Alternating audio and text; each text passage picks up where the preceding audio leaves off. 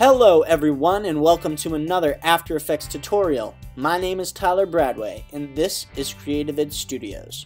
So today I'm going to be showing you how to make a hyperdrive space zoom effect like in Star Wars when they turn on the hyperdrive and zoom through the space and the stars get really like long and like lines and stuff.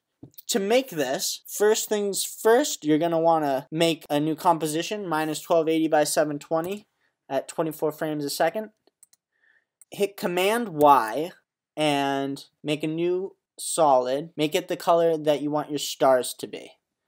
Hit OK. Now, on the side, on your effects panel, you want to type in CC ball action. I don't know why they call it CC ball action. That's kind of like, seems kind of dirty to me. I don't know. Next, you're going to want to make a camera. So layer new camera. Hit OK. Now go back to your solid and turn this to around 715. Grid spacing, we're going to want to.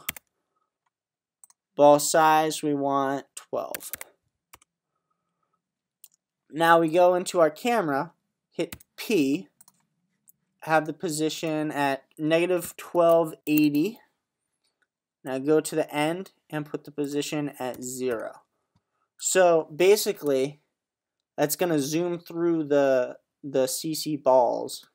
Because look, when you do the ball action, you can actually, it's it if you leave it as a 2D layer, it acts as a 3D layer, which is pretty cool. Okay, so now that we got that, I'm going to do that effect that I showed you in the last tutorial, which was the echo. But to do that, first we're going to want to pre-compose these. So we can call it stars and camera. Okay, and now go to echo and plop that on.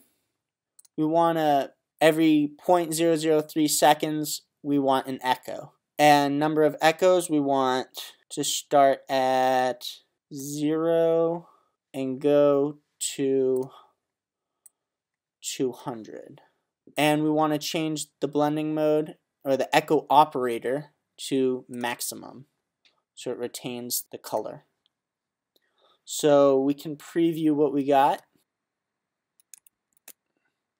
Okay, so that's basically it.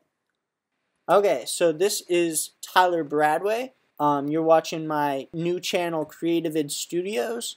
I make new videos every so often. I, I mean, I can't I, I can't really say I have a schedule, but if you subscribe, you'll see my new videos every once in a while.